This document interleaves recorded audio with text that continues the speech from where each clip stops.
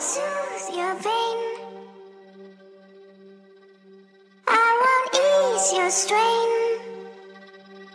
I took you out, flay you alive.